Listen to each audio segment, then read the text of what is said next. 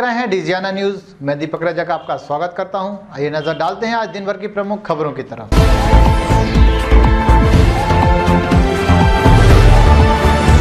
युवा मोर्चा के कार्यकर्ताओं ने आज पुलिस अधीक्षक कार्यालय में पहुंचकर एसडीओपी राधोगढ़ अनुराग पांडे के खिलाफ ज्ञापन दिया। वहीं युवा मोर्चा के कार्यकर्ताओं की मांग है कि जल्द से जल्द एसडीओपी अनुराग पांडे को निलंबित किया जाए एवं उन पर जाँच की जाए। बता दें कि आरोन के मंडल अध्यक्ष पर हरिजन एक्ट में मामला दर्ज किए जाने से नाराज़ कार्यकर्ताओं ने आज पुलिस अधीक्षक कार्यालय पहुंचकर एसडीओपी अनुराग पांडे के खिलाफ नारेबाजी की एवं ज्ञापन सौंपा। कार्यकर्ताओं का आरोप है कि एसडीओपी अनुराग पांडे ने झूठ बोलकर आरोन के मंडल अध्यक्ष उमा पटवा को थाने बुलाया। वहीं उमा पटवा को यह कहकर थाने में बुलवाया गया कि पुलिस अधीक्षक निमेश अग्रवाल थाने आए हुए हैं और उनसे बात करना चाहते हैं। कार्यकर्ताओं ने यह भी आरोप लगाया कि बिना याद किए मंडल अध्यक्ष पर हरिजन एक्ट भी कायम किया गया। युवा मोर्चा के कार्यकर्ताओं ने एसडीओपी अनुराग पांडे पर और भी कई गंभीर आरोप लगाए और कहा कि उनकी कार्यप्रणाली शंका के घेरे में रहती है।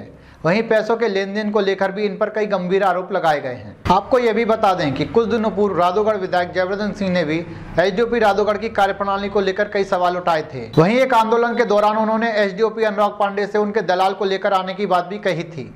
अब देखना ये होगा कि हमेशा से किसी न किसी विवाद में घिरे रहने वाले एसडीओपी अनुराग पांडे पर पुलिस अधीक्षक क्या कार्रवाई करते हैं?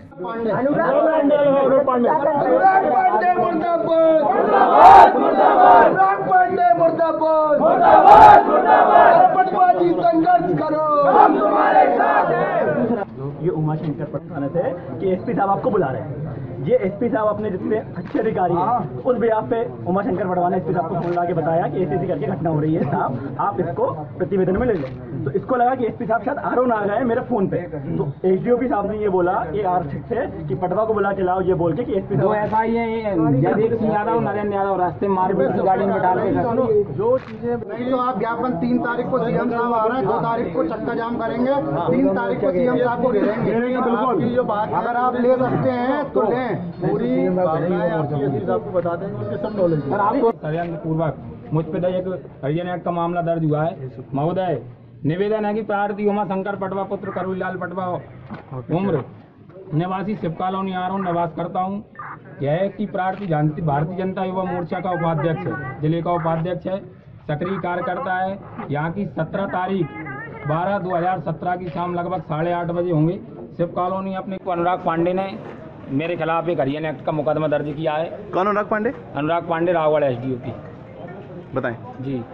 करीब रग- तकरीबन एक बजे मुझे घर से उठवाया गया।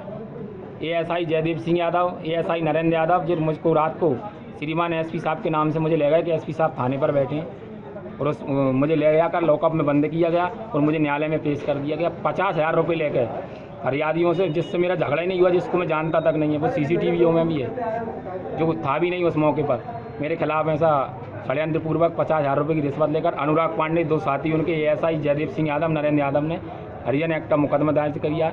अतः मेरा आज हम लोगों ने युवा मोर्चा ने ज्ञापन दिया है कि इस पर क्या मांगे आपकी? की। अनुराग पांडे सस्पेंड किया जाए के गुना के लोग थे। इसमें उमा पटवा आरोन थाना निवासी है। तो उन पर एक प्रकरण पंजीबद्ध हुआ है। उस संबंध में उनकी शिकायत है कि इसमें एस और उन लोगों ने गलत तरीके से प्रकरण पंजीबद्ध किया ऐसा उनका कहना है। तो वो जाँच होगी उसकी विधिवत, है? और जो जो उन्होंने उसमें तथ्य उठाए हैं, उन सब पर गंभीरता से जाँच होगी और कार्रवाई होगी।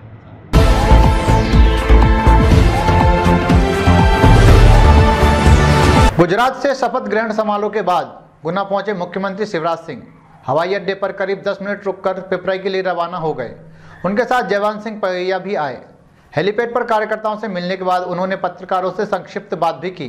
हालाँकि वो इतनी जल्दी में थे कि सिर्फ़ दो सवालों के जवाब ही दे पाए। जो उन्होंने बोलना था, वह बोला और चले गए।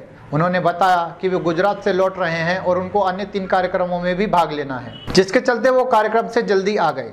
वहीं अशोकनगर से जुड़े अपवादों को लेकर पूछा गया कि वह अशोकनगर क्यों नहीं जाते, जिस पर उन्होंने कहा कि शिवराज जल्द ही अशोकनगर जाएँगे।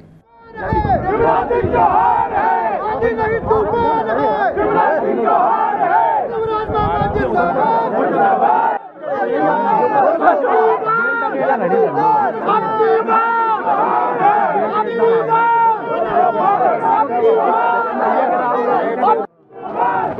अगर उधर बात उधर बैठ के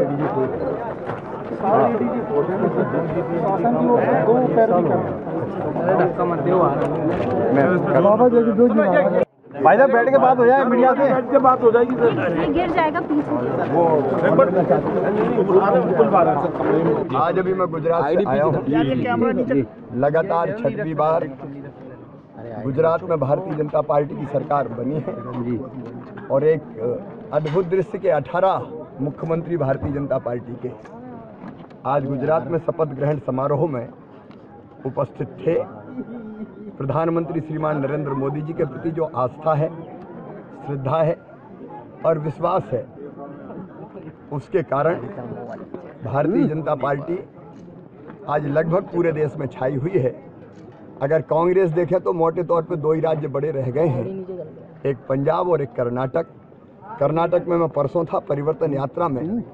भावी परिवर्तन की लहर चल रही है और कर्नाटक में भी अप्रैल में चुनाव होने वाले हैं। वहाँ भी भारतीय जनता पार्टी सरकार बनाएगी। सबका साथ सबके विकास के मूल मंत्र के साथ पार्टी लगातार आगे बढ़ रही है सुशासन दे रही है। आज मैंने विजय रूपाणी जी को और नितिन भाई पटेल को जो मुख्यमंत्री और उप मुख्यमंत्री है वहाँ बधाई दी और अब यहाँ से आगे मैं वहाँ गया मुख्यमंत्री जी उप मुख्यमंत्री जी को बधाई दी। राष्ट्रीय अध्यक्ष श्रीमान अमित शाह जी से मैंने अनुमति ली और मैंने प्रार्थना की कि चूँकि मेरे दो कार्यक्रम दो नहीं आज तीन कार्यक्रम हैं अगर मैं देर हो गई तो उन कार्यक्रमों में मैं नहीं पहुँच पाऊँगा और कार्यक्रम समाप्त खराब हो जाएँगे क्योंकि शपथ ग्रहण से पहले ये कार्यक्रम तय थे और उसके बाद शाम को भोपाल में भी कार्यक्रम है। तो मेरे राष्ट्रीय अध्यक्ष जी ने मुझे अनुमति दी कि आप मिल के बधाई दे के चले आइए। उनकी अनुमति लेके आया हूँ भैया। सर अशोक अशोक नगर में सीएम का ना आना इस तरीके से आप अंधविश्वास को किस मैं तरीके वो से मैं कतई अंधविश्वास नहीं हूँ। हाँ। अशोक नगर भी।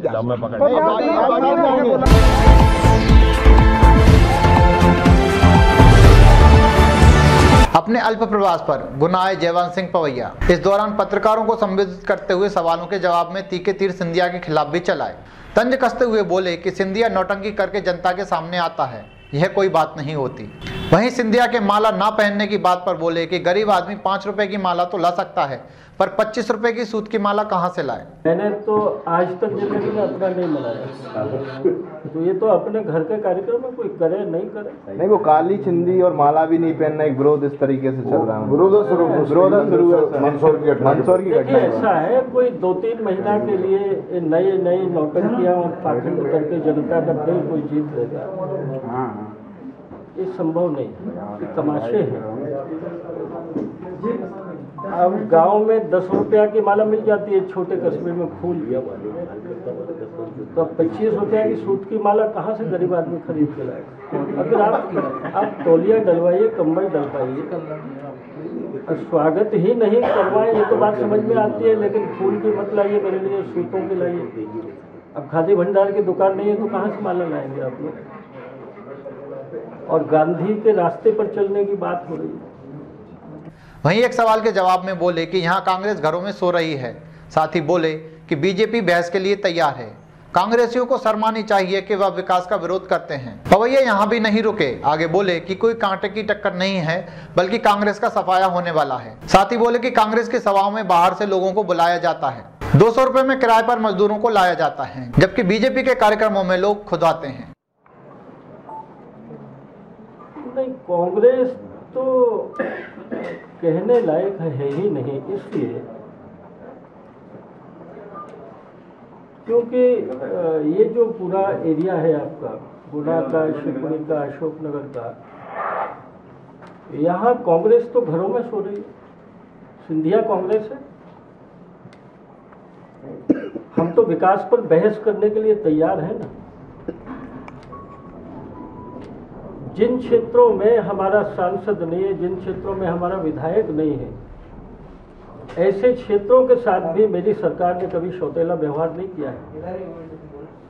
जो हाईवे हैं जो डिस्ट्रिक्ट रोड हैं जो सिंचाई योजनाएँ हैं कांग्रेस अपने जमाने के आंकड़े लेकर बैठ जाए और हमारी सरकार के जमाने के आंकड़े लेकर बैठ जाए बहस कर ले।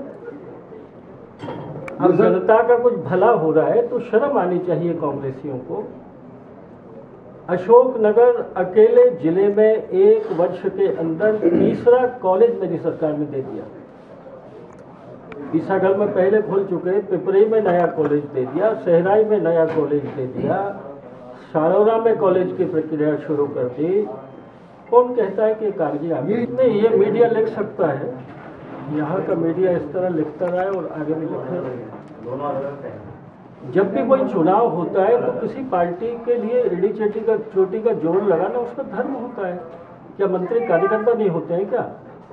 जिस पार्टी में, जिस पार्टी की सरकार नहीं है, उसमें सिंधिया के साथ में मंत्री आएँगे कहाँ से? अगर मेरी सरकार है तो कार्यकर्ता मंत्री भी हैं। अब आप कह रहे हैं कि सिंधिया अकेले घूम रहे हैं तो मिनिस्टर कहाँ से लाएँगे सिंधिया? मिनिस्टर पैदा करने के लिए तो सरकार बनानी पड़ेगी। कोई कांटे की टक्कर नहीं। जनता के रुझान से बहुत साफ़ दिख रहा है कि इस बार सफाया होने वाला है उपचुनावों में। सिंधिया की सभा के दौरान भारी भीड़ थी उन्होंने मथुरई की सभा की तो मुझे जानकारी है। मैं भी उसी इलाके में दौरे पर था और मुझे तो भिंड के मुरैना के ग्वालियर के सागर की गाड़ियों में भरे हुए कांग्रेसी मिले मुझे तो बंगला चौराहे पर दो सौ रुपया पर बाइक ले लीजिए पेट्रोल भरवा लीजिए चलिए। अरे हमारी सभाओं में या मुख्यमंत्री जी के रैली में क्षेत्र के लोग ही तो आ रहे हैं। लेकिन आपके गुना के सांसद की सभाओं में लोग बाहर से लाने पड़े तो आखिर वोट तो क्षेत्रों के लोग डालते हैं। बीजेपी एड़ी चोटी का ज़ोर लगा रही।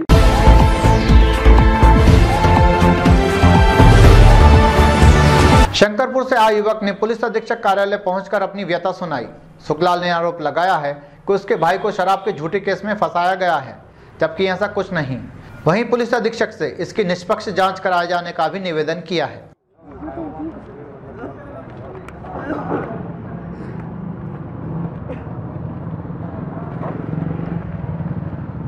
नीचे कर लो आवेदन थोड़ा।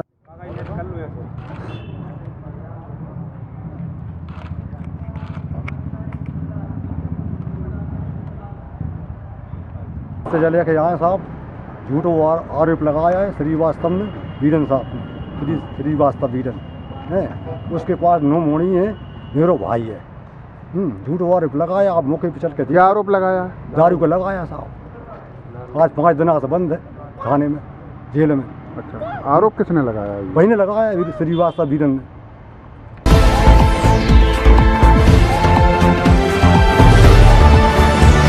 एएसआई सतीश रघुवंशी की मौत के मामले में जाँच की मांग को लेकर आम आदमी पार्टी के कार्यकर्ताओं ने महामहिम राष्ट्रपति के नाम ज्ञापन दिया मानसिक तनाव होता है जिसे कम करने के लिए समय पर अवकाश जाए आम आदमी पार्टी उन सभी छोटे मध्यम मैदानी पुलिसकर्मियों के साथ न्याय की मांग करती है जो जय गुरुदेव के उत्तराधिकारी स्वामी पंकज जी आज गुना पहुँचे। यहाँ पर उन्होंने डीजियाना से बात करते हुए बताया कि संत वो है जो अपने मन को साध सके। वही मानवता के निर्माण के लिए शाकाहार को अपनाना चाहिए। साथ ही किसे अपना गुरु बनाना है वो सोच समझ कर बनाए। देखिए कल का कार्यक्रम था शाहजहाँपुर की धरती पर। तो उसी परिप्रेक्ष्य में यहाँ पर आना हुआ है। यहाँ से हम वापस जाएँगे। आज के परिप्रेक्ष्य में जो एक साधु संत जो होते थे अभी उन्होंने बिल्कुल रूप बदल लिया है, व्यवसाय का रूप धारण कर लिया उसमें आपका क्या वो है? देखिए, साधु संत साधु कहते किसे जिसने अपने मन को साधा। गुरु वही है जो इस अज्ञानता रूपी अंधकार को दूर करे। गुरु नानक साहब ने कहा कि गुरु सोई जो शब्द से नहीं, जो शब्द के भेद को जानता हो, ऐसे गुरु की तलाश करो। तो सबसे प्रार्थना है कि आप सभी लोग अपने मानव जीवन के उद्देश्यों को समझें और एक अच्छे समाज के निर्माण के लिए आप लोग शाकाहार की तरफ़ बढ़ें और शराब जैसे मादक पदार्थों का त्याग करें। बाबा जी आजकल अपन देख रहे हैं कि जगह जगह कहीं ना कहीं कुछ ऐसे बाबा इकट्ठे हो रहे हैं। अभी कुछ दिन पहले पकड़े हुए भी। धूमिल हो रही है। उस पर आप ये जनता को तय करना है ये जनता देखे। और हम तो यही प्रार्थना करेंगे कि ऐसे शब्द भेदी गुरु की तलाश करो जो शब्द या नाम के भेद को जानते हो। आशाराम बापू और रामदेव बाबा के बारे में हम टिप्पणी नहीं कर सकते। जो जैसा करेगा वो अपने कर्मों से खुद ही गिरेगा। अच्छा क्या एक साधु को राजनीतिक होना चाहिए? देखिए साधु का जो काम है वो साधु को करना चाहिए राजनेताओं का जब जो काम है वो राजनेताओं को करना चाहिए।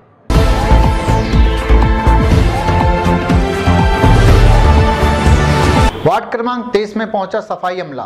वार्ड वासियों के आग्रह पर इस वार्ड की सफ़ाई की जा रही है।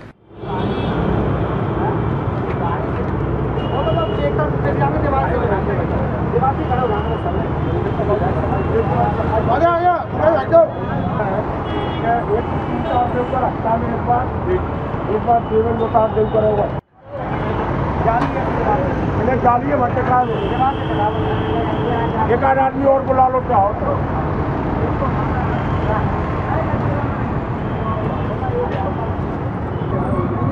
ये जो है, वार्ड नंबर तेईस का मेरे वार्ड का हिस्सा है।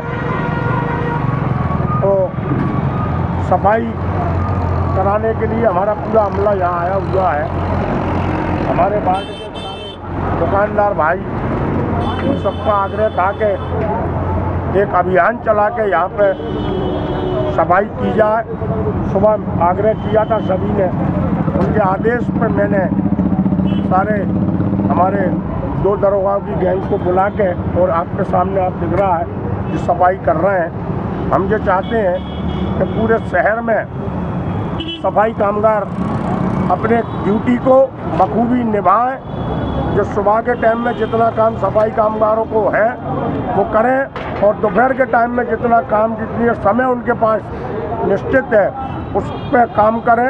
ये शहर हमारा है।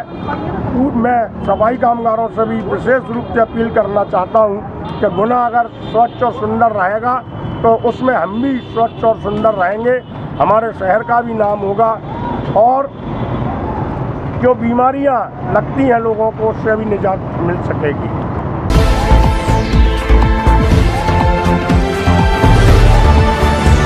मकसूदनगढ़ के भगवतीपुरा में रिश्तों को तार तार करने वाली घटना सामने आई है। यहाँ माँ समान सास की, उसी के दामाद ने बुरी तरह पिटाई कर दी और घायल कर दिया। घायल के पति बाबूलाल ने बताया कि दामाद आए दिन बेटी के साथ मारपीट करता था, जिसकी रिपोर्ट जामनेर थाने में भी हमने दर्ज कराई है। जिसके बाद हम बेटी को अपने घर ले आए। इसी से नाराज़ होकर दामाद आज गाँव पहुँचा और मेरी पत्नी के साथ बुरी तरह मारपीट कर दी। उसके बाद वो फरार हो गया। हमने 108 की मदद से मकसूदनगढ़ अस्पताल लेकर आए और उसे भर्ती करा दिया।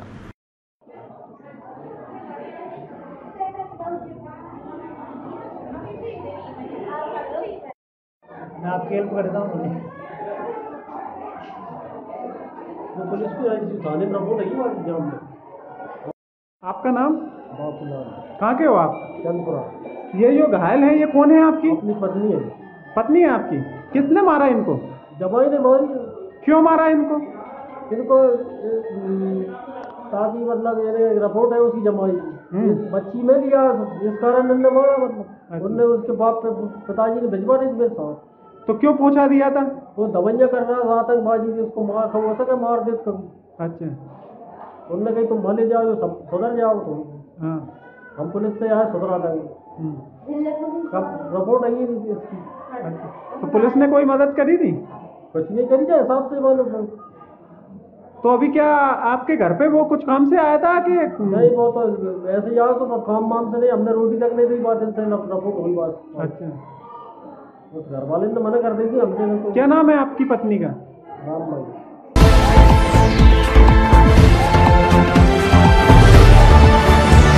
मकसूदनगढ़ में पिछड़ा वर्ग मोर्चा प्रदेश कार्य समिति सदस्य पूजा सोंदिया ने अटल बिहारी वाजपेयी के जन्म दिवस पर गांव-गांव जाकर गरीबों को कंबल बांटकर मनाया। इस मौके पर पूजा सोदिया के साथ कई बीजेपी कार्यकर्ता मौजूद रहे।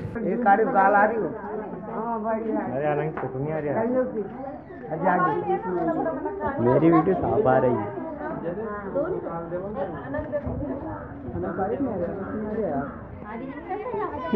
ये रही है यार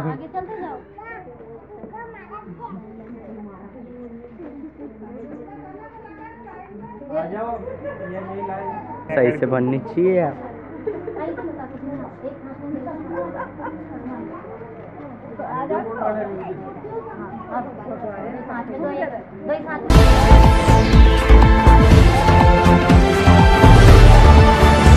संत कृपाल जी महाराज आज जिला कलेक्टर राजेश जैन के साथ वृद्धाश्रम पहुँचे। वृद्धाश्रम पहुंचकर कृपाल जी महाराज ने वृद्धों को कंबल बांटे। वहीं कृपाल जी महाराज ने वृद्धाश्रम में वृद्धों को धर्म की बातें भी बताई। उनके साथ संत कृपाल सत्संग सेवा समिति एवं मानस भवन समिति के सदस्य भी मौजूद रहे। बहुत प्रसन्नता की बात है कि महाराज जी का तीन दिवसीय सत्संग ग्वालियर में 24 तारीख से आयोजित था। गुना में सॉरी ग्वालियर से महाराज जी आए थे। गुना में आयोजित था ये गुना वासियों का सौभाग्य। और महाराज जी की तरफ़ से तोमर साहब ने कहा कि महाराज जी, वृद्धाश्रम जाना चाहते हैं तो मैंने कहा, इससे अच्छी क्या बात हो सकती है कि वृद्धाश्रम वालों को भी, जो भी किसी कारण से, या अब हम इसको क्या कहें, कहीं ना कहीं पूर्व जन्म के कर्मों का कुछ उदय होगा। कुछ बात हो सकती है जिसकी वजह से हम लोग यहाँ हैं, कहीं ना कहीं हमारे पुण्य में कमी रह गई होगी। इसलिए हम लोग यहाँ पे हैं और आप सबका सौभाग्य है कि महाराज जी स्वयं यहाँ पधारे हैं। आप सबको न केवल आशीष देने, बल्कि उनने सर्दियों में कंबल और अपनी तरफ़ से एक श्रद्धा राशि भी आप सब लोगों को दी है।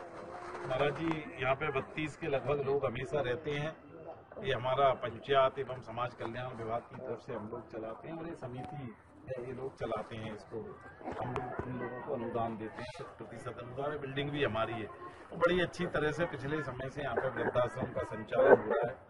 समय समय पर विभिन्न समाज सेवी भी यहाँ आके वृद्धों के साथ अपने सुख दुख बांटते हैं और यहाँ पे आते हैं लोग बात। हमने तो कल कलेक्टर साहब आए थे तो हमने कहा आपके ज़िले में हम आ रहे हैं। आपके ज़िले में आए हैं। जिलाधीश कहलाते हैं कलेक्टर साहब। जिलाधीश माने हैं ज़िले का राजा। तो किसी राजा की नकली में जाए तो परमिशन बहुत ज़रूरी है। तो हमने वो हमारा फ़र्ज़ है। निभाना ही चाहिए। तो हमारे समिति के लोगों ने पहले जाके संपर्क भी साधा। और आज यहाँ जो यहाँ का कार्य देख रहे हैं, उनकी भी बहुत आप लोगों के प्रति एक भागीदारी है, भाव है। और कलेक्टर साहब का तो भाव के ऊपर कुछ पंक्तियाँ याद आ जाती हैं। कोई मंदिर जाए या ना जाए मस्जिद जाए या ना जाए, गिरजाघर जाए या ना जाए, और गुरुद्वारे भी जाए या ना जाए, ये कलेक्टर साहब बहुत बचपन में याद हो गई थी, बहुत छोटे थे जब, वो कंठस्थ हो गई। तो वो हम जब कोई उस तरह के भाव के लोग मिलते हैं, जैसे कि कलेक्टर साहब हैं, और आज यहाँ ये सब योग है, उस मालिक की कृपा है। कि मानव सेवा का भाव अगर हमारे अंदर है, मानवता अगर हमारे अंदर है और हम उस सेवा में संलग्न हैं तो बिना पूजा अर्चना के भी उसकी कृपा हमारे साथ उसमें कहा, इबादत है, इबादत माने है पूजा। इबादत है किसी नाशाद का दिल शाद कर देना, खुशियों से भर देना। इबादत है किसी बेकफन को कफन उड़ा देना, वो इबादत है किसी बर्बाद को आबाद कर देना और इबादत है किसी दर्दमंद का दर्द बटा देना। ये भाव आपके यहाँ के गर्मी में लगाते हैं। अपने हिसाब से करते होते हैं कि धुआँ कर लिया आग लगाते हैं जलाते हैं ताप लेते हैं।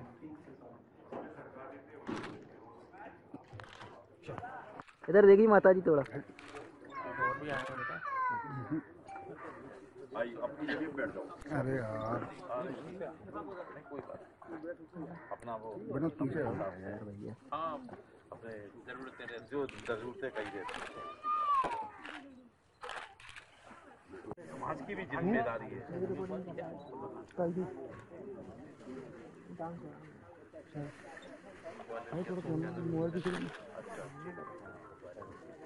नहीं ठीक है। आ जाओ आ जाओ।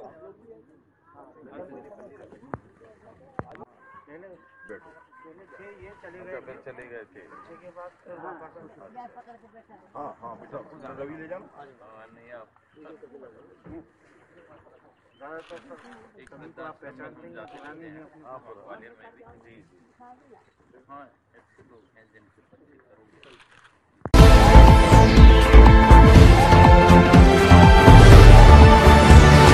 हैं न्यूज़ में आज बस इतना ही। कल नई खबरों के साथ हम फिर हाजिर होंगे। तब तक के लिए नमस्कार।